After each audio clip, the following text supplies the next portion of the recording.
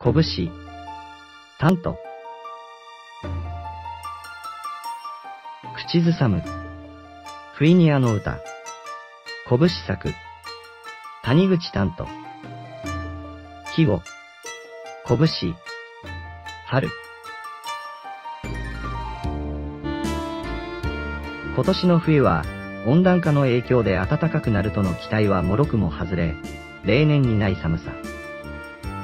雪国の降雪量も、平年以上の多さになっているとのことです。一方でコロナウイルス疫病は、2年以上も地球を席巻し続ける中、突然に海底火山が大爆発を起こすなど、近年の地球が引き起こす災いには、恐怖さえ覚えるものです。そうは言っても、太陽の恵みはありがたいもの。季節が進めば、厳しい気象状況下でも、草草の下萌えは着実に進み、木々の新芽、花芽は膨らみを充実させてくれます。これは、春の遅い北国にあってもしかりで、たとえ深い雪に埋もれていても、必ず雪解けを迎えることができるのでありがたいことです。私の好きな散歩コースにおいても、自然界の変化をいろいろ感じ取ることができます。途中に大きな拳の木があり、銀色の綿毛のようなつぼみが、日ごと膨らんでくるのが見て取れます。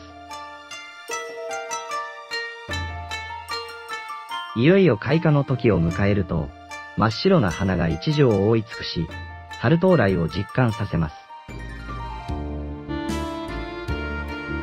そこで不意に口から出てきたのが、北国の春の歌でした。口ずさんでいるうち、この歌は、雪国で春を迎える喜びを伝える歓喜の歌ではないかと感じ入り、その後のステップが軽くなったような気分に相なった次第です。一方で、春が過ぎ、夏が来ると、今度は熱波に悩まされるのではないかと、余計な心配事も頭をかすめたのでしたが、なんと、